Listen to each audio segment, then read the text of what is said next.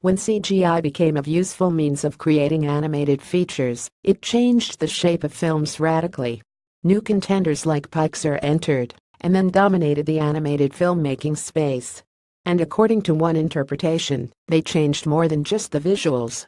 That's what Sage Hyden, creator of YouTube channel Just Write, argues in his new video, anyway. He contends that the use of CGI in filmmaking influenced the way stories in animated films are told, leading to a radical shift in the types of stories these films tend to tell.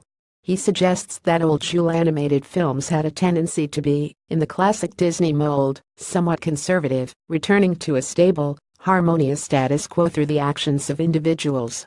CGI films, on the other hand, often focus on larger social stakes and, and insignificant social changes.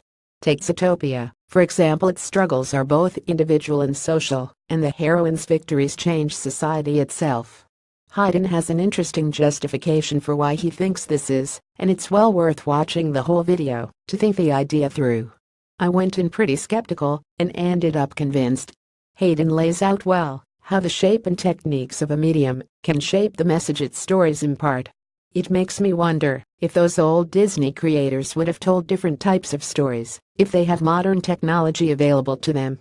Anyway, check it out and let me know what y'all think. The video is below, and you can check out the rest of Hyden's videos on the Just Write YouTube channel. YouTube feature image Pixar more movies posts.